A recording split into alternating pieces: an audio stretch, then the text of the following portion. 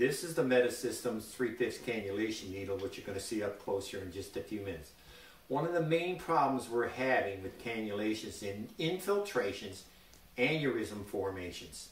And that is due to two things. The one inch needle that is being placed on the arm when you go in and you get in less than an eighth of an inch and you get a flashback, then the other seventh eighths of an inch you thread up into that vessel.